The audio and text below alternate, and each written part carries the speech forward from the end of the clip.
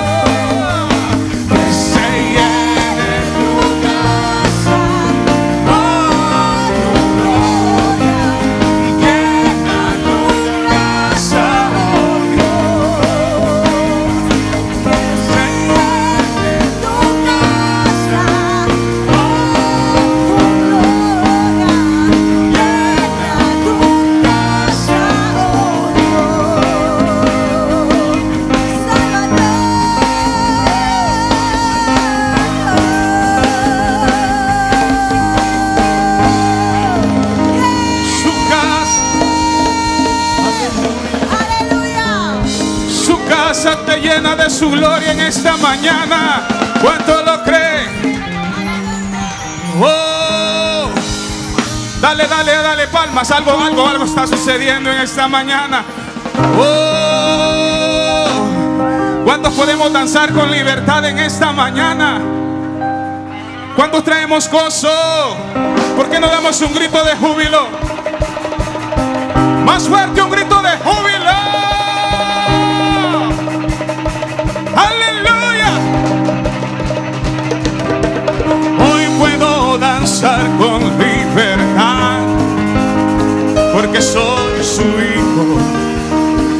Porque soy su hijo. Hoy, puedo danzar con libertad. Porque porque soy amado. Porque soy amado. En este día, hoy puedo danzar con libertad, porque soy su hijo, porque soy su hijo, porque soy su danzar con libertad, porque soy amado, porque soy amado, porque soy saltando. Aleluya.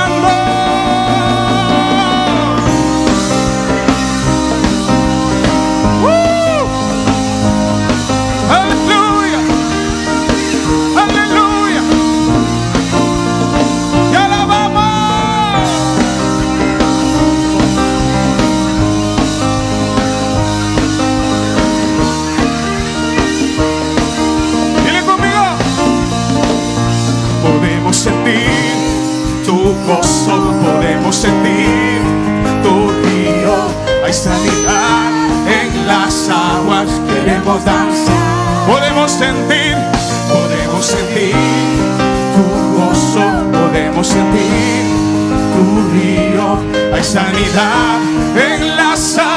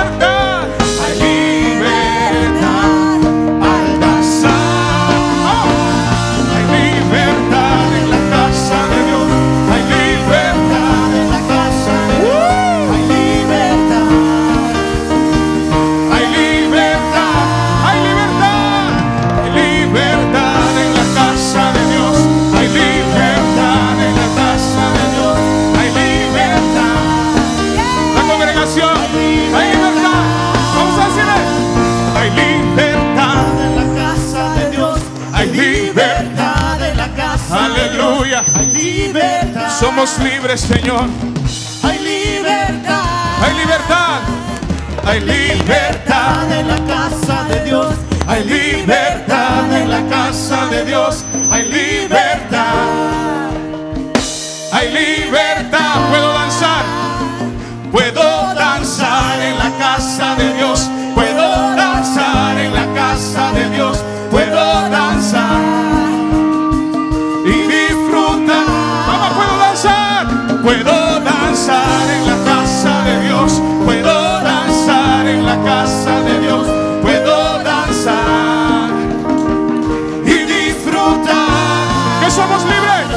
So.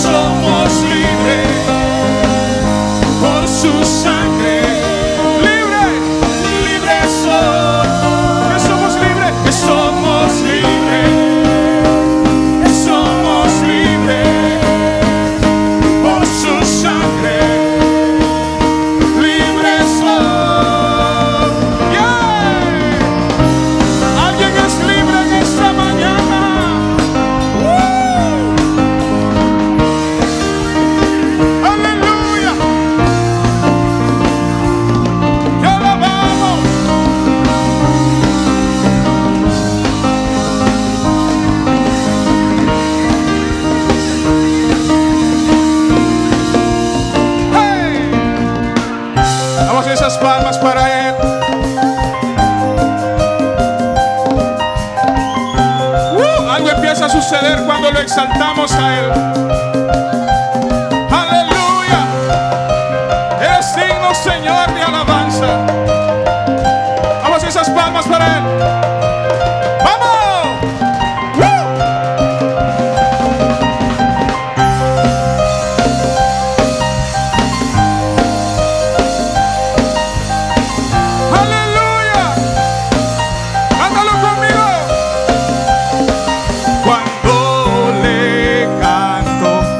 tierra se estremece, los muros.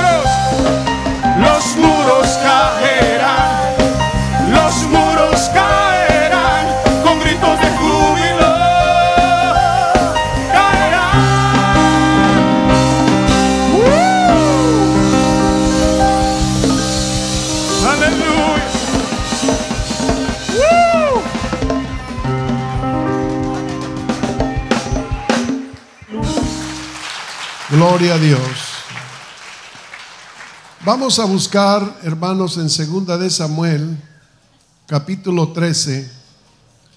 Vamos a estar hablando de los problemas en la casa de David. Problemas en la casa de David. Pero vamos a leer los primeros 12 versículos. ¿Cuántos trajeron su Biblia? Ok, por favor, siempre que venga a la casa del Señor, si puede, traiga su Biblia porque aquí nos enseñamos cómo ojearla, dónde están los libros, lo que le, le dé más luz, márquelo, gloria a Dios. Bueno, dice la palabra del Señor, ¿estamos todos listos? Primera de Samuel 13:1, aconteció después de esto que, que teniendo Absalón, hijo de David, una hermana hermosa que se llamaba Tamar, se enamoró de ella Absalón, hijo de David. Y estaba Amnón angustiado hasta enfermarse por Tamar, su hermana, pues por ser ella virgen, le parecía a Amnón que sería difícil hacerle cosa alguna. Y Amnón tenía un amigo que se llamaba Jonadad, hijo de Simea, hermano de David, y Jonadad era un hombre muy astuto, diga muy astuto. Este le dijo, hijo del rey, ¿por qué de día y de día vas enflaqueciendo así? ¿No me lo descubrirás a mí? Y Amnón le respondió, yo amo a Tamar, mi hermana, dice hermana de Absalón, mi hermano. Y Jonadán le dijo, acuéstate en tu cama y fíngete enfermo.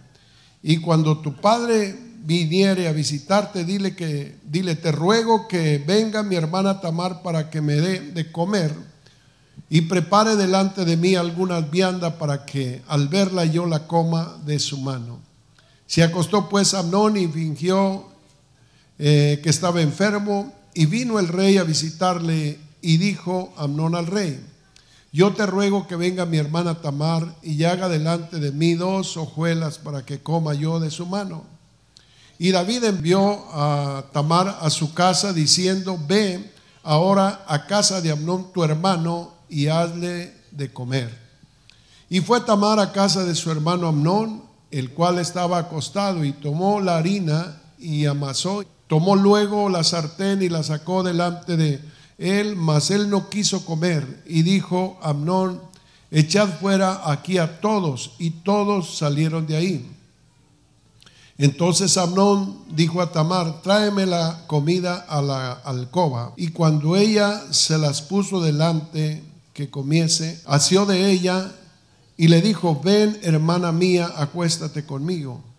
Ella entonces le respondió, no, hermano mío, no me hagas vileza, porque no se debe de hacer así en Israel. No hagas tal vileza. Este, no la respetó, la deshonró a su propia hermana. Pero vamos a pedirle a Dios que Él nos ministre en este momento, porque todos nosotros, ¿verdad? Este, tenemos familias. ¿Qué fueron, ¿Qué fueron los pasos que David dio para poder este, recibir tan grande dolor y cómo se pueden evitar estas cosas. Oremos, Señor, te damos gracias. Padre, en el nombre de Jesús, nos ponemos delante de ti para que tú, Señor, nos hables, nos guíes, nos ministres y que tú, Señor, pongas una palabra en mis labios para poder ministrar y guiar a tus hijos, Señor. Ayúdanos, Señor, a poder, Señor, eh, evadir todas estas cosas tan sucias, tan tristes, tan dolorosas que sucedieron en esta casa, Señor. Te pido, Padre Santo, que me dé la unción y que abras los oídos espirituales de cada uno de tus hijos en el nombre del Señor Jesucristo. Amén. Tomen asiento. Quiero tratar acerca de cuatro puntos, no cuatro, son siete puntos que yo marqué en esta historia eh, hay mucho que aprender, pero hay por lo menos unas siete cosas que así rápidamente le quiero explicar. Hubo problemas muy graves en la casa del rey David. Ahora, hay problemas que nosotros mismos provocamos y hay problemas que el diablo provoca. En este caso, vamos a mirar el desastre de esta casa y por qué fue que vino tanta tristeza, vino muerte a la casa de David siendo que David era un hombre, un hijo de Dios, un hijo de Dios, pero que no por ser hijos de Dios nos escapamos de pasar por momentos difíciles. Entonces yo quisiera solamente que que saliera solamente lo bueno de mí, no lo malo. Sin embargo, Dios conoce lo bueno y lo malo de cada ser humano. Y en la vida de David nosotros siempre oímos que mató a mil y el otro a sus diez mil y David danzaba y todas las cosas hermosas de David, pero aquí el Señor le sacó todos los pecados de David. ¿Y qué fue lo que sucedió con su casa? ¿Y por qué sucedió? ¿Cómo fue que vino todo eso a su casa? Entonces pongamos mucha atención porque estamos nosotros también viviendo días difíciles y días más difíciles que los tiempos cuando el rey David le sucedió a esto. Tenemos en el primer punto es la falta de discernimiento. La falta de discernimiento está en el versículo 6 del capítulo que leímos. David no tenía discernimiento, porque cuando su hijo le fingió, él no discernió. Cuando le mintió, no discernió. Entonces es importante que nosotros estemos más conectados con Dios para que Dios nos ayude a tener más discernimiento entre lo bueno y lo malo que está sucediendo en la vida de nuestros propios hijos. Porque Él estaba mintiendo. Yo creo que, hermanos, muchas de las veces nuestros hijos nos mienten. Tenemos que tener la capacidad de verlos a los ojos y discernir si están mintiendo o no están mintiendo. Pero aquí tal parece que David, no sé qué fue lo que sucedió, no tenía ese discernimiento. Muy rápido que él obedeció a lo que le dijo su hijo. Y su hijo llevaba pensamientos diabólicos. Sin embargo, David también cooperó y trajo a su propia hija para que le sirviera a la mesa de este perverso Amnón, que era su propio hijo. Tenemos que tener mucho cuidado en los tiempos que estamos viviendo. No le crea todo a sus hijos. No le dé todo a sus hijos. No le dé por su lado tanto a sus hijos. Usted tiene que tener discernimiento entre lo bueno y lo malo de lo que está sucediendo en su propia casa, porque este problema podría ser el mismo problema de su casa. En el punto número dos, vamos a ver que había inmoralidad en la casa de David en el verso 11. Vamos, acuéstate conmigo, hermana mía. Había inmoralidad, había pecado en la casa de David. Este es otro punto muy importante que nosotros tenemos que cuidar en nuestra casa, porque si en nuestra casa hay pecado, entonces hermano, ¿cómo vamos a poder tener éxito? Por eso Job decía en uno de los versículos que tenemos ahí, si alguna iniquidad hubiere en tu casa y no consintieses que more en tu casa la maldad, sino que la eches de ti, entonces levantarás tu rostro limpio de manchas y nada temerás. La vida te será más clara que el mediodía y aunque oscurecieres será como la mañana. Pero dice la Biblia, si alguna iniquidad, si algún pecado descubrieses en tu casa y lo echas de, delante de ti, entonces vivirás confiadamente. Entonces nosotros no sabemos a veces qué está sucediendo en la vida de nuestros hijos. Nuestros hijos pueden estar escondiendo cosas terribles en la misma casa. Es necesario que usted chequee las habitaciones de sus hijos. ¿Qué es lo que miran? ¿Con quién platican? Porque hoy en día, miren, los celulares está... Yo no, no me gusta mucho leer la Biblia en el celular, porque los celulares tienen ventanas del infierno también. Usted en el celular puede encontrar toda clase de maldad en el celular. Antes, por ejemplo, la pornografía se vendía por allá en paquetes oscuros, en las esquinas, por allá. La gente asustada iba y compraba una revista de pornografía, los que les gustaba hacer, andar en, todas esas cosas. Hoy en día usted la tiene ahí enfrente. Los niños de 10 años, de 12 años, de 15 años, tienen todo. Por eso la Biblia dice que las cosas irán de mal en peor, de mal, de mal en peor. Por eso es importante que usted examine la vida de sus hijos. Es más, usted tiene que tener cuidado que sus hijos están mirando en la televisión. A veces yo veo que hay familias que están mirando la televisión y salen escenas que no son escenas muy buenas para que un niño, un niño o simplemente estar delante de tus hijos mirando escenas donde hay dos, dos novios ahí o una o dos adúlteros que están haciendo el amor. Y entonces Mujer, si tú supieras lo que está pasando en la vida de tu esposo, no solamente en la vida de tu hijo que está mirando aquello, en la vida de tu propio esposo, lo que está pasando por su mente. Ahora imagínese un hijo que tiene 14, 17 a 18 años donde se le están desarrollando las hormonas, donde tienen esas pasiones todas alocadas y usted dándoles la oportunidad para que vean todo lo que quieran en la casa, tenga mucho cuidado porque había maldad en la casa de David. Pero pasamos al punto número 3 que está en 1 Samuel 13, 21, la falta de corrección. Dice la Biblia que David se enojó mucho cuando se dio cuenta, cuando le dieron el aviso que Amnón había violado a su propia hija. Y dice la Biblia que se enojó mucho, pero solamente hasta ahí. Se enojó, pero no le llamó la atención. Se enojó y dejó el asunto así. Mire, hoy en día hay hogares sin ninguna disciplina, donde el niño hace lo que quiera, hace enojar al papá y a la mamá, a la mamá, pero no, no lo disciplinan Solamente Junior, cálmate, Junior, no verás cuando venga tu papá. Y el niño hace y deshace, tira y deja como, como si pasó un huracán por la casa cuando se suelta el muchachillo.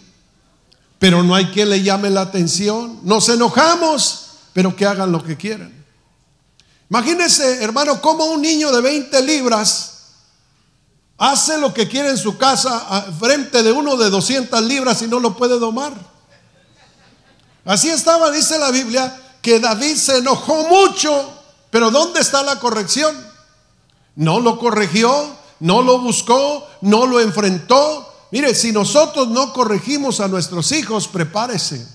Por eso la Biblia dice, la vara y la disciplina dan sabiduría, pero el muchacho consentido será una vergüenza para sus padres. Es verdad, dice que ninguna disciplina al presente parece ser causa de gozo, sino de tristeza. A veces nos duele disciplinar a nuestros hijos, pero da frutos apacibles a todos aquellos que han sido ejercitados en la disciplina.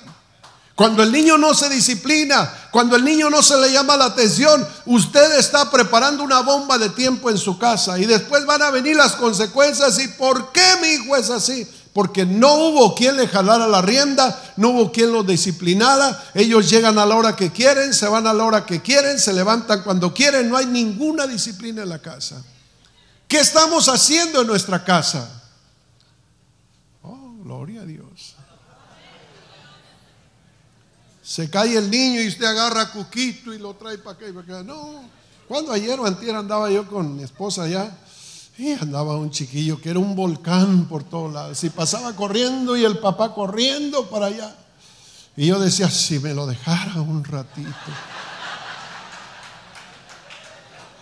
Y pasaba el chiquillo y el papá lo traía beso y beso. En cuanto soltaba el volcancito, toda la gente andaba desesperada. No lo disciplinó, no lo reprendió. Y así hay niños que no, se, no los disciplinan, no los reprenden, no les llama la atención. Van creciendo haciendo toda a la manera. Más bien el de, el de 20 libras anda dirigiendo al de 200 libras. Lo trae así, mire. Oh, hermanos, aleluya. Cuando yo era un niño, qué tremendo. Cuando yo me caía o hacía cualquier cosa, prepárate, porque te, te voy a levantar. No te voy a levantar con dos besos. No, hombre, mi padre tenía una vara de este tamaño. Y mi madre también. Yo recuerdo en una ocasión, nunca me quedaron ganas de ir a una casa ajena porque llegaban los del norte y llevaban dulces y llevaban chocolates y, y por ahí me metí a una casa que me dieran un dulce y cuando mi madre me miró comiendo ese dulce, dijo, ¿de dónde sacaste ese dulce? No, pues me lo hallé en el camino, no, no me la creyó. Dijo, ahorita, ahorita te voy a sacar la verdad. Y yo sabía que cuando decía ahorita era para salir corriendo. Y recuerdo que salió con una vara de este tamaño detrás de mí. Y me alcanzó a dar un agarre, pero me dolió, pero ya estaba yo un adolescente y, le dije, y pues que no me dolió nada. No, hombre. Parece que le di una cachetada en la cara a mi madre. Pero yo recuerdo que me volé la cerca, una cerca grande. Mi madre, cuando yo llegaba a la cerca, ya me salvaba. Pero en esa ocasión, mi madre yo creo que Se le metió el enemigo. Yo me volé la cerca. No, dije, y ya la hice. Cuando volé al otro lado de la cerca, dije yo, me salvé. Hermano, venía mi madre en el viento detrás de mí. Y entonces me asusté y le di duro, pues un muchacho asustado nadie se lo alcanza. Y pasé por donde había un gentío y decía, agárrenlo, agárrenlo, agárrenlo. Y que me agarran, hermano. No, hombre, me trajo arrastrando a la casa. No sé cuánto tiempo me encerró en un cuarto, me dio una buena.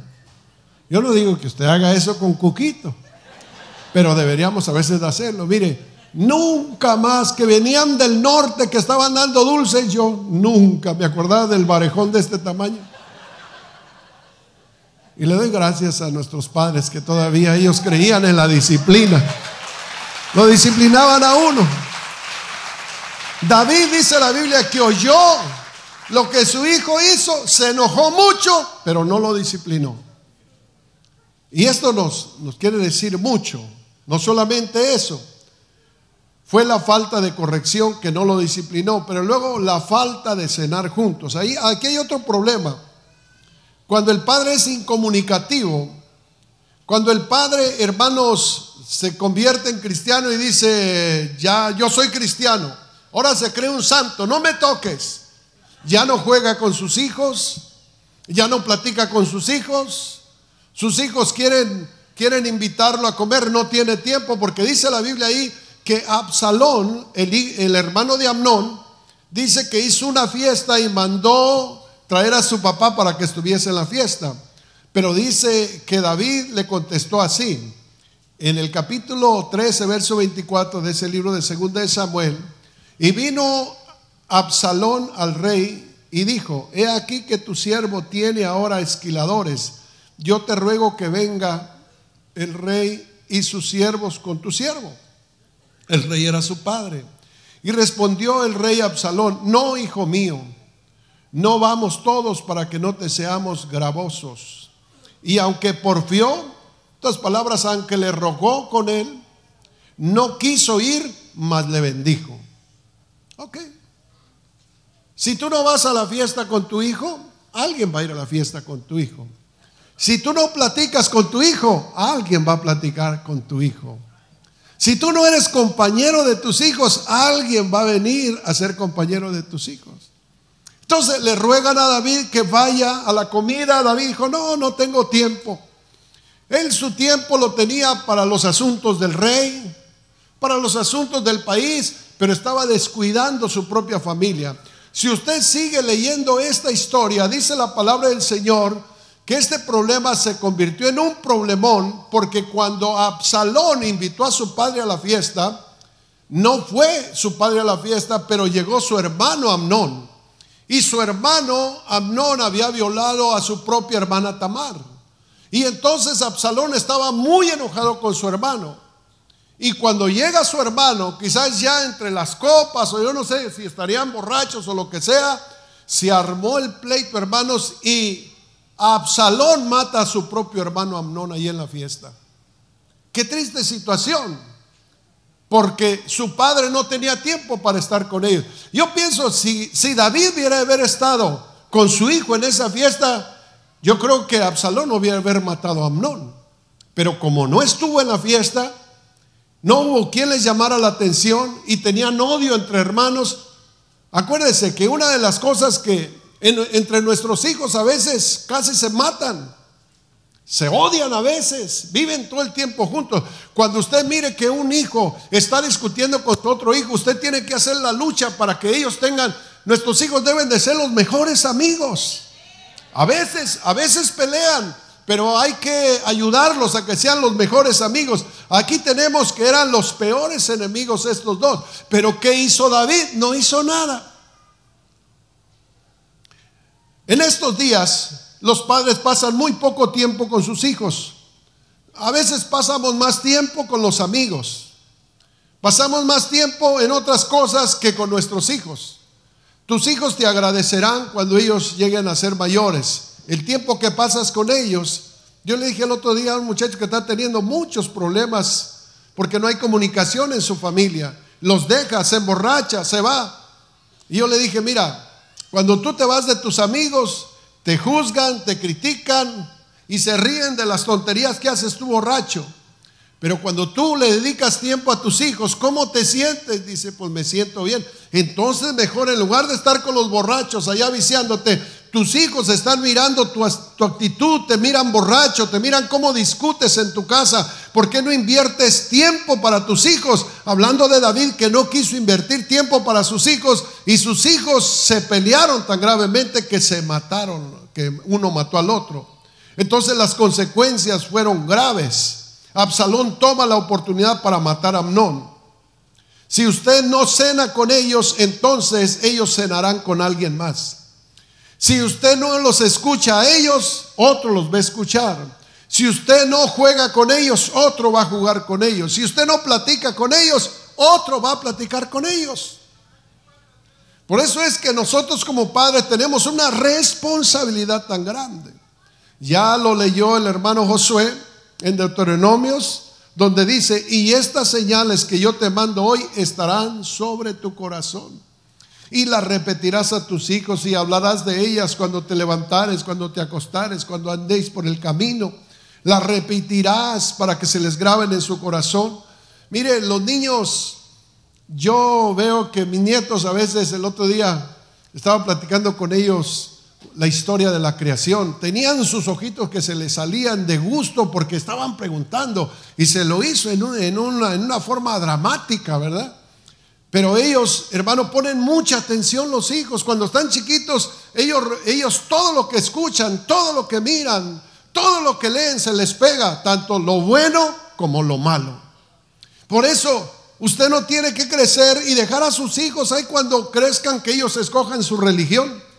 No, ellos van a escoger lo malo, ellos van a escoger lo prohibido, lo obsceno, lo pecaminoso. Si nosotros no los guiamos, dice, instruye al niño en su camino y cuando él sea hombre, que sea viejo, dice, no se apartará de él. Entonces es importante que nosotros como padres de familia instruyamos a nuestros hijos en el buen camino porque vamos a dar cuentas a Dios. Nosotros vamos a dar cuentas a Dios por nuestros hijos. Sus hijos son un regalo de parte de Dios, pero sus hijos tienen que ser guiados, aconsejados, deben de recibir oración de sus padres. La Biblia dice aquí, herencia son los hijos, cosa de grande estima el fruto del vientre. Como saeta son los hijos nacidos en la juventud. Como saetas en manos de valiente, así son los hijos nacidos en la... Pero los hijos tienen que ser instruidos en el camino del Señor.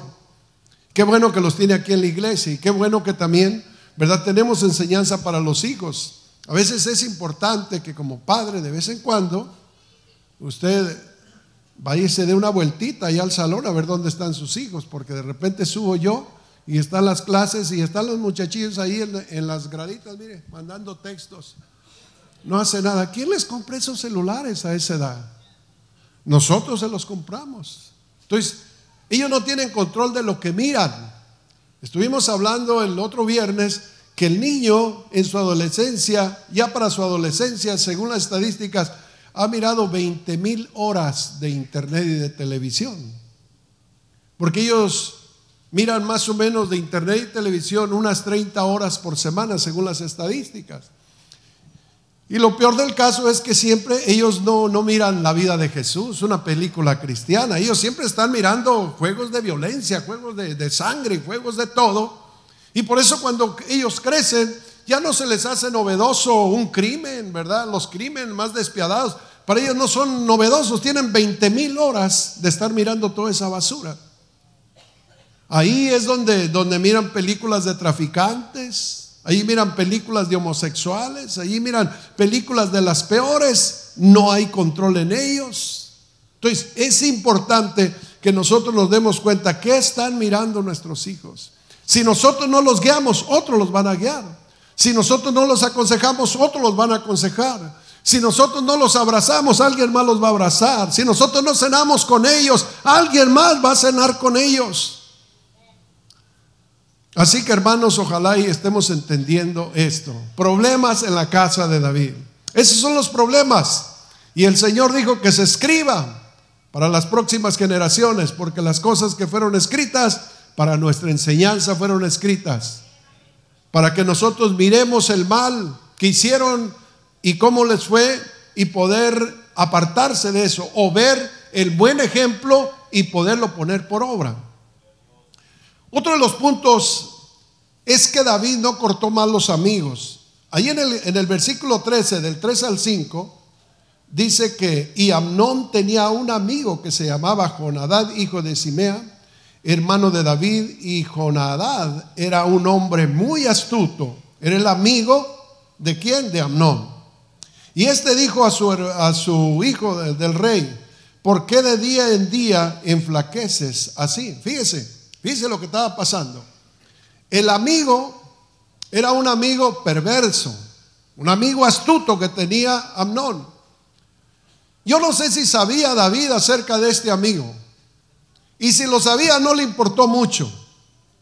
Déjeme decirle que un mal amigo puede destruir a nuestros hijos. Después de 15, 16, 17 años que usted tiene ayudando a su hijo, llevándolo a la escuela, vistiéndole, dándole de comer, toda una vida que usted se ha sacrificado por esa hija, por ese hijo, viene un mal amigo y en dos o tres días le echa a perder a su hijo. Por eso tenemos que tener eh, en cuenta quiénes son los amigos de nuestros hijos. Este amigo Jonadá dice la Biblia que era muy astuto. Mire este mal amigo. Cuando llega el primo hermano, que eran primos hermanos, y le dice, ¿sabes qué? Estoy afligido, aunque no se lo había confesado. Pero este perverso amigo lo notó que estaba enflaqueciendo. Mire, su padre no lo notó, pero su amigo sí lo notó.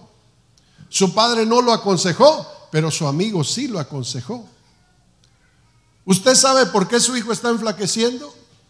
¿Usted sabe por qué su hijo se mira cada día más triste? ¿Usted sabe por qué su hijo de repente le responde y lo ha sorprendido? Pues qué clase de hijo estoy haciendo. ¿Usted sabe por qué? Usted tiene que darse cuenta que si no nosotros tenemos una plática, una amistad con ellos, ellos pueden irse torciendo hacia la destrucción y va a ser demasiado tarde cuando usted se dé cuenta. Este mal amigo no lo cortó David. Y hay veces que los hijos llegan con malos amigos a la casa. ¿Con quién te estás juntando? ¿Quién es tu amigo? Porque el que entre lobos anda, aullar aprende. Y la, la, Biblia dice claramente que las malas compañías corrompen las buenas costumbres. Pero eso está ahí el Padre para poder vigilar, para poder orar, para poder aconsejar, para poderle advertir al hijo. Hay veces que aunque se enojen, un día no lo van a agradecer. Un día no lo van a agradecer. A mí mi padre yo tenía una amistad que cómo se enojaba cuando yo andaba con esa amistad. No lo entendí, no lo entendía y nunca le hacía caso. Bueno, gracias a Dios me vine, me vine a Estados Unidos y cuando yo regresé, este mal amigo lo habían desaparecido, ya nunca lo encontraron. Se lo llevaron, quizás lo echaron a una noria, a un pozo, nunca más sus padres lo encontraron. Era un mal amigo, yo lo conocía y él me contaba todas las fechorías que hacía. Los malos amigos conocen más el corazón de tus hijos o de tus hijas que tú mismo.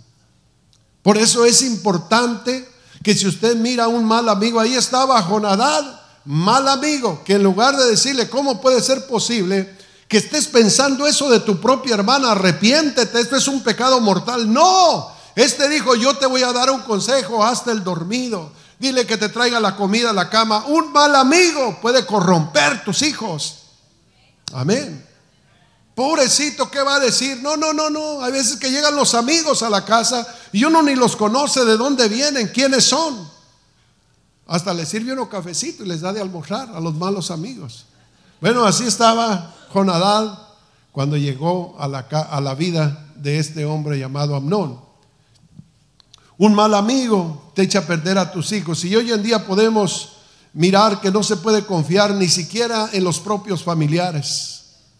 ¿Cuántos familiares no han violado a las propias primas? O hay veces gente que usted tiene en las casas que mete gente que usted ni la conoce. No sabe a quién está metiendo. Amén. Entonces tenga mucho cuidado, adviértase mucho. ¿Por qué? Porque sus hijos están pequeños, hijos han sido violados, hijas han sido violadas por los mismos familiares. Aquí tenemos un primo hermano que viola a, un primo hermano que le da un mal consejo a este muchacho. Por eso un mal amigo es algo terrible. ¿Quién, ¿Quién es el que va a enseñar a fumar a tus hijos? ¿Quién le pondrá el primer cigarrillo en la boca de tus hijos? Un mal amigo. ¿Quién será el que le inyecte la rebelión a tu hijo? Un mal amigo. ¿Quién será el que lleve a la cantina a tu hijo? Un mal amigo. ¿Quién será el que te llevará la noticia de que ya está en la cárcel, de que lo mataron? El mal amigo. Porque ahí dice la Biblia que después que hubo esa matanza, el mismo mal amigo de Absalón fue el que le llevó la noticia al rey que estaba muerto su hijo. El mismo perverso que le había metido toda la rebeldía que le había dado el consejo para violar a su hermana. Por eso es muy importante, hermanos, que usted sepa aconsejar, porque un mal amigo le está torciendo el corazón a su hija, a su hijo. Luego después de esto, ¿qué fue lo que hubo? Fue una separación. Y esto está más triste, porque cuando Absalón mata a Amnón, dice la Biblia, le lleva la noticia al rey y él se enojó, pero no los disciplinó, no hizo nada cuando se enojó. Pero sabía Absalón que su padre estaba enojado. Entonces lo que hizo fue irse de la ciudad. Se fue de la ciudad. Dice la Biblia que estuvo por tres meses fuera de la ciudad. Mire, en 13:38 y 39, ¿qué dice? Así huyó Absalón y se fue a Jesús y estuvo allá tres años. Y el rey David deseaba ver a Absalón, pues ya estaba consolado acerca de Amnón que había muerto. Deseaba verlo, pero nunca lo buscó a su hijo. Ok, perdió los dos hijos. Y quizás él en su conciencia se dio cuenta que él había sido un poco culpable de esto. Y entonces como que superó la muerte de su hijo Amnón. Y él quería ver el rostro de Absalón. Pero tres años y nunca lo fue a buscar. Y no solamente eso. Cuando no lo va a buscar, entonces Absalón le manda dos veces una invitación que vaya con él. Él se sentía mal, pero también dice la Biblia que él no fue, porque llegó Absalón a la ciudad de David y por ahí se, se puso a vivir en una casa porque no se atrevía a llegar con su padre. Y dice la Biblia que duró dos años más en la ciudad y David no lo visitó. David recibió dos invitaciones para que fuera a hablar con su hijo. No, lo, no, no fue.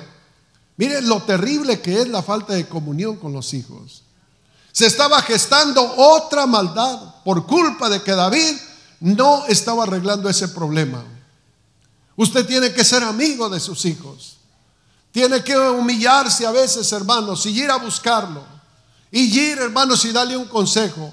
Y ir a reprenderlo. A veces, bueno, a veces hay que tener cuidado cómo entra uno ahí. Un día yo estaba aconsejando a mi hijo y cuando lo estaba aconsejando, de repente me di cuenta que iba por el mal camino. Se puso casi conmigo. Dije yo, uh, no es por ahí. Y entonces me sentí mal porque no estaba teniendo éxito en mi consejería. Dice la Biblia que escudriñemos lo bueno. Entonces dije yo, no, no es por ahí. Y empecé a decirle a mi hijo, le doy gracias a Dios porque tú fuiste escogido desde el vientre de tu madre. Le doy gracias a Dios porque eres un muchacho muy entusiasta, tienes mucho potencial para triunfar, eres muy salidor, platicas con toda la gente, tus hijos te aman. Entonces él empezó a bajar la guardia. Y ya después que bajó la guardia, entonces le hice saber lo que yo llevaba para aconsejarle y finalmente aceptó, dijo, papá, ora por mí, necesito, gracias por tu consejo. Pero tuve que aconsejarlo. Entonces, usted tiene que aconsejar a sus hijos, tiene que ir con sus hijos, tiene que cuando vea que sus hijos están peleando, oiga, no los deje hasta que se mate, no, no. Que, diles tú, que diles tú. Y luego, ¿qué? ¿No es usted el que lleva la, eh, el cinturón ahí con la eh, villa de este tamaño? Porque es de Mazatlán, dice, así son las cebillotas. y, las botas de charro, pero no, en la casa no, ¿qué charro? No, no, no tiene ninguna autoridad, pobrecito. Usted tiene que pararse firme, usted es el dueño de aquella casa y Dios lo puso ahí como el padre de familia, el padre que cuando se, cuando se trata de disciplinar hay que disciplinar, cuando se trata de abrazar, cuando se trata de llevarlos a la fiesta hay que llevarlos. O sea, tenemos que ser padres y, y en toda esta, todas estas semanas les, les hemos estado, hemos ido aprendiendo acerca cómo ser un buen padre, cómo ser una buena esposa, cómo mantener unidad en el matrimonio. Esperamos que usted se lleve toda esa serie. Entonces hubo separación y no hubo reconciliación. Finalmente, como Absalón le manda a llamar a su padre, su madre, su padre pasan tres años, él no lo busca, después él se acerca a su padre y por dos años no quiso ver la cara de su hijo y después su hijo le manda a decir a su padre que si podía llegar o podía ir con él, tampoco le hizo caso. Entonces, ¿qué fue lo que sucedió? Ahora Absalón le divide el reino. Ahora estuvo peor. Porque se pone en la puerta, hermanos, y empieza a dividirle el reino. ¿A dónde vas? voy a hablar con el rey David. Y él dijo, no, ni, ni siquiera te pares ahí, no te va a atender, pero aquí estoy yo, yo te atiendo. Y empezó a juntar la flota, juntar la flota, hasta que juntó un ejército y se dividió y se levantó contra el reino y hubo una mortandad tremenda, pero todo venía por esta raíz. Entonces, mire, ahora quiero acabar, pero quiero decirle como lo dicen en el avión, cuando uno va a bajar, cuando uno va a pisar tierra, cuando va a terminar el viaje, ¿qué es lo que le dice la zapata? Amárrate el cinturón, porque esto está peligroso. Hay dos momentos peligrosos en el avión. Uno es cuando, cuando despega y otro es cuando baja. Esos son los, los dos momentos más peligrosos del, del, que ve en un avión. Bueno, voy a, voy a bajarme aquí pero amarres el cinturón porque le voy a hablar a su vida ahora. Aquí tenemos la triste historia del rey David. Primeramente, en el capítulo 11 de Segunda de Samuel, David hizo algo que fue horrible ante los ojos de Dios. David mandó traer una mujer, él era un rey, tenía eh, todo a su alcance, y dice que salió a pasearse en, la, en, la, en el piso de su casa y cuando volteó hacia un lado miró a una mujer muy hermosa que se estaba bañando. Yo no sé qué estaba haciendo esta mujer afuera de, de la choza. Se salió a bañar a aire libre. Y bueno, yo, yo pienso que el diablo, ¿verdad? El diablo trabajó ahí. Porque también dice la Biblia que era muy hermosa la mujer. Claro, no, no, no le iba a presentar una viejita de 90 años. ¿eh? Entonces le sacó el monumento de la ciudad. Una mujer dice que la miró, la codició, la mandó traer y sació sus perversos instintos. Entonces ahí peca él, peca en el capítulo 11, manda a traer a esta mujer, se acuesta con ella, y no conforme con esto, para poder cubrir ese pecado, manda y mata a su esposo. Lo manda a matar un soldado fiel que tenía él en su ejército. Le quitó la mujer y mató a su propio esposo y todo el asunto quedó arreglado. Pero dice la Biblia, no os engañéis, Dios no puede ser burlado. O sea, parece que 7 y 8, 6 al 8, dice 8, 7 dice, sembraron viento y cosecharán torbellino. El viento, ¿cuál fue el viento que sembró David? El viento que sembró David se acostó con la mujer ajena y mandó matar a su esposo. Ese es el viento. Ahora viene, quiero llevarlo para que vea el huracán que cosechó David. Así que, si usted, ¿verdad? Es una persona que está joven, está casado, cuídese. Porque el diablo se le puede presentar con, con, piernas. El diablo no se le va a presentar, hermanos, como lo pintan, con una escoba y una nariz larga, como una bruja volando por el aire. No, no, el diablo ya no usa esas tácticas. El diablo se presenta como un joven apuesto de barba partida y tres pelos en el pecho y usted dice, ¡ay! No, si es cierto, si uno las mira a las mujeres. Y luego miran a su pobrecito panzón ahí de su esposo, todo caído. Y pasa un calimán luchador. Pobrecito, nosotros ya puro pellejo. Pues así fue que sucedió con David. Se la presentó muy bonita. Dice la Biblia que el diablo se viste de ángel de luz. El diablo no se viste de cuernos y cola. El diablo no es aquel que te sale una noche a la medianoche y te habla tenebrosamente con la cara de lumbre, con una cara de demonio. No, eso no es el diablo. El diablo se presenta con faldas, con una cara bonita, con un cuerpo atlético. Así se presenta el diablo. Así fue que le presentó el pecado a David. Y David cayó en el pecado, en la tentación. Mire, cuando Adán y Eva, el diablo se les presentó, ¿Usted cree que, que la serpiente era así? No. La serpiente era uno, según la historia, uno de los animales más bellos del paraíso. No tenía ese, esa, esa figura, o yo no sé si a usted de repente eh, al despertar usted miraría una cobra y le dijera, María, aquí estoy. ¿Qué hacía usted? Venga para acá, serpiente, a correr. Pero la serpiente no era así, esa quedó hecha de esa figura horripilante después que cayó en la maldad. por eso el diablo se le llama la serpiente antigua, el dragón, hermanos. Entonces la serpiente era un animal inofenso, un animal muy astuto, dice la Biblia, la serpiente, así como este hombre, Jonadad, astuto.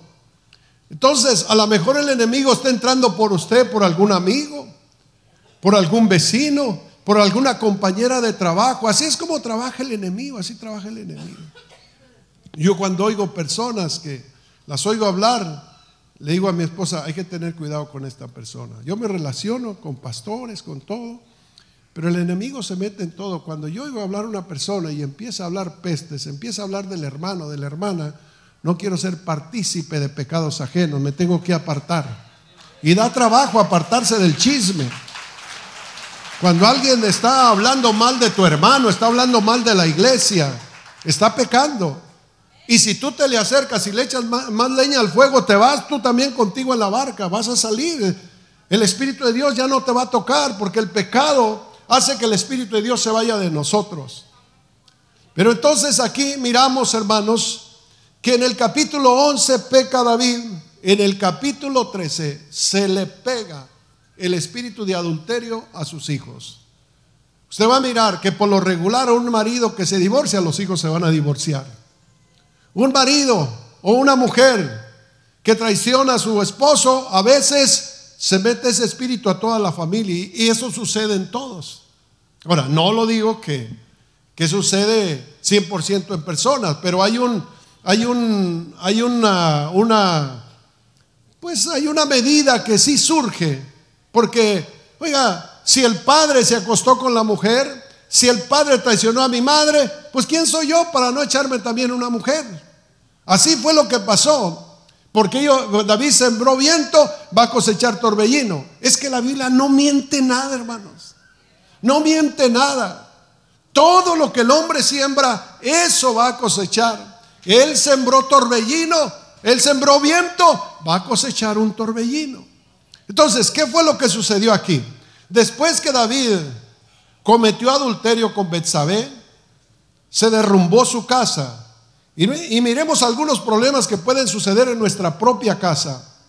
Cuando los hijos vieron la vileza de su padre, ellos perdieron el respeto y ya David no tenía ninguna autoridad sobre los hijos. ¿Por qué? Porque miraron la vileza de su padre. Entonces hay que cuidarnos, hermano. Hay que ver que cinco minutos de placer puede ser que sea toda tu vida de llorar, toda tu vida. Porque estos fueron cinco minutos de placer. ¿Cuánto duró con ella ahí abrazado? Se sació cinco minutos. Pero lo que te viene es hasta el día que te muera la amargura que te va a venir. Entonces hay que tener mucho cuidado. Se cumplieron las palabras de Oseas 8:7. Ellos sembraron viento y cosecharán torbellino. Gálatas 6, 7, todo lo que el hombre siembra, eso va a cosechar. Y si usted siembra viento, usted va a cosechar un torbellino. Antes de pedir rectitud a sus hijos, examinémonos por qué el problema puede venir a nuestra familia de nosotros mismos. Usted se bebe una botella, sus hijos van a beberse los barriles. ¿Está escuchando? Usted menosprecia la palabra del Señor sus hijos repetirán ese pecado más neciamente. usted está deseando a la mujer de su vecino, no se le haga raro que sus hijos van a desear algo más peligroso en su propia casa. Por eso le digo, esto, esto yo, yo desde que lo oí, hace años que yo vi esta historia, eso me cuida, eso me ayuda. Porque si le pasó a David siendo el hombre más santo, ¿qué puede, qué, qué puede hacer conmigo el enemigo si yo me desconfío? Yo tengo que cuidar mi vida, yo no quiero parar, hermano, como paró David o como están parando algunos líderes que está oyendo por ahí de un líder que qué mal le está yendo. Pero bueno, yo oro por ellos y Señor, ayúdame, yo quiero serte fiel. Pero eso no fue todo. David sembró viento, cosechó torbellino. Él mató a un hombre. El diablo le quitó a cuatro de sus hijos después de eso. Usted va a mirar cuatro de sus hijos. Primeramente, muere el niño de David que nació por el pecado de Betsabé. Se le murió. Ahí está, el torbellino empezó. Segundo, Amnón toma a su propia hermana, hija de David, y la viola. Lo mismo que él había hecho con la mujer de Urias. Número tres, Absalón mató a su hermano Amnón. Su propio hijo mayor mata a su propio hijo Amnón. Qué triste. Otro de los puntos, Absalón le divide el reino a su padre David. Y luego Joab, el soldado de David, le mata a Absalón. Y no solamente eso, luego Salomón mata a su hermano Adonías, los dos hijos de David. O sea que él, hermano, mató a uno y la muerte le quitó cuatro. Y eso me llena a mí de miedo. Eso ojalá y que Dios le esté hablando a su corazón. Porque el pecado ajeno es muy bonito. Pero el diablo te, te deja ver la, la, belleza del pecado, pero no te deja ver la amargura del pecado. Por eso es que yo como padre de familia y como, como pastor suyo, tengo que advertirle de estas cosas. El diablo quizás se te está presentando en el trabajo, se está presentando hasta en la célula. Mire, esa gente que anda en adulterio, y que esconde pecados tarde o temprano, Dios les da tiempo en las iglesias para que se arrepientan, porque dice la Biblia, y le he dado tiempo que se arrepiente y no se ha arrepentido. Pero entonces echaré a sus hijos en cama y vendrá el torbellino sobre ellos. Mire, David finalmente, lo que me gusta de David, que finalmente él reconoció su pecado. Y hoy David está en el cielo. Oh, después el Señor dijo, he, hallado un hombre conforme al corazón de David. Mientras que Saúl no se arrepiente de sus pecados, sigue igual y Saúl termina ahorcándose, el primer rey de Israel. David comete pecados, pero David cuando reconoció que había fallado a Dios, cayó de rodillas y vuelto en llanto decía, Señor, contra ti he pecado y he hecho lo malo delante de tus ojos y cayó en pecado y le pidió, si usted ve el Salmo, el, Salmo 51 está el arrepentimiento de David, con cuántas lágrimas buscó y Dios le dio la oportunidad y lo restauró. Ahora la pregunta es, ¿cómo está tu familia? ¿Cómo está tu vida? ¿Cómo va todo? ¿Quisieras en este momento pedirle a Dios que te ayude? Eres joven, hay tentaciones en tu vida. Y esas tentaciones te pueden llevar a una desgracia que te vas a lamentar toda la vida. David ciertamente terminó bien, pero imagínese cuando él se acordaba de sus cuatro hijos muertos, imagínese qué tortura para él. Y imagínese que él también se imaginaba que él fue el que sembró la violencia, sembró el adulterio, fue el que dio el primer paso para destruir toda su casa. Y en este momento yo quiero que usted se ponga de pie y vamos a examinar nuestras vidas delante del Señor. Yo no sé lo que el enemigo le pueda tener preparado, pero puede ser que esta semana se le presente el enemigo. Pero usted ya escuchó el mensaje de Dios. Usted está aquí para aprender. Si no ha sucedido, gloria a Dios. Pero si se presenta la ocasión, acuérdese de este pecado, el de, de este juicio que le cayó a David. El pecado se muestra muy hermoso pero cuando te agarra te destruye completamente, destruye tu vida, destruye tu alma, destruye tu matrimonio, destruye tu familia, destruye tu salud. Y por eso necesitamos agarrarnos de la mano de Dios. Yo no sé si usted está acá y vino por primera vez, segunda vez, y todavía no invita a Cristo a que entre a su vida. A lo mejor el, el enemigo está metido, pleitos, amenazas, hijos rebeldes. No está Dios en tu vida. Pero si tú metes a Cristo en tu vida, el mismo Señor Jesucristo te va a ayudar a perfeccionar, te va a ayudar en tus debilidades, te va a ayudar en tus problemas que tienes en el hogar, porque dice la Biblia, clama a mí y yo te responderé. Yo no sé si hay una familia, un matrimonio, un padre que a lo mejor está solo, una madre que está sola, que está reconociendo que le faltó aprender todo esto, pero está a tiempo. Todavía el Señor nos está esperando acá. No sé si haya alguien que quiera que ore por él. Si usted vino y dice, pastor, yo necesito esa oración. Estamos teniendo necesidad de oración. Nos hemos estado alejando de Dios. Y sin darte cuenta se te está hundiendo la barca. Pero hoy Dios te está moviendo las aguas para que despiertes. ¿Habrá algún matrimonio que quiere venir a este lugar? No necesariamente usted tiene que estar en este pecado, pero uno no sabe lo que el enemigo puede estar preparando para nuestro matrimonio. Venga y vamos a agarrarnos de Dios y a pedirle al Señor misericordia. Problemas en la casa de David pueden ser tus propios problemas. Mejor es a sincerarse con el Señor, a sincerarse con su esposa, con su esposo. No estamos disciplinando a los hijos, no estamos llamando la atención a nuestros hijos, no estamos, estamos no estamos evitando ciertas amistades de nuestros hijos. Está habiendo separación en nuestras familias porque no estamos arreglando los problemas en nuestra familia. Y se está acercando un huracán a tu familia. Pero estamos a tiempo acá. Yo quiero que pase a este lugar. Si hay matrimonios, pueden pasar de la mano y decir, vamos a agarrarnos de Dios. Vamos a pedirle al Señor de su misericordia. Si ha habido ofensas, dice la Biblia, nuestra lucha no es contra seres de carne o de sangre. Cuando tú miras a tu esposa como tu enemiga, el diablo se carcajea de ti porque no estás entendiendo el problema. El diablo es el culpable de todas estas cosas y toma al más débil. Así que no tienes que pelear con tu esposa ni con tus hijos. Pelea en oración contra el diablo. Pelea en oración porque el diablo es el que quiere ver destruido tu hogar y tu familia. Vamos a orar. Se vino con su esposa, tómese la mano. Y vamos a pedirle al Señor, si usted no está su esposo acá, ore por su esposo. Si usted la ha hecho de padre y de madre, ore a Dios para que Dios le dé discernimiento para guiar a sus hijos, a su familia. Oh, gloria a Cristo Jesús. Padre Celestial, en esta preciosa tarde, en esta mañana, en tus manos, Dios, estamos. Primeramente pidiéndote perdón porque no hemos hecho las cosas como a ti te agrada, sino a nuestra manera hemos hecho todo, Señor.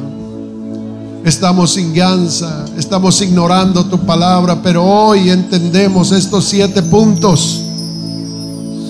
Necesito ser más espiritual, tener más discernimiento, necesito orar más, Señor, contigo para que me des discernimiento, Señor. Necesito, Señor, echar malos amigos. Necesito, Señor, ser más amigo de mis hijos, de mi hija, Señor. Padre, ayúdame a discernir lo bueno y lo malo que están mirando mis hijos. En el nombre de Jesús recibe, recibe la revelación, recibe la bendición. Comunícate más con tus hijos, abrázalos, aconsejales. Se pueden ir desviando. Y si no encuentran en ti el apoyo, si no encuentran en ti ese abrazo paternal, ese abrazo maternal, ellos lo van a buscar afuera donde está la maldad. Dios mío, ayúdanos, Padre. Ayúdanos, Padre, en el nombre de Jesús. Gracias, Padre.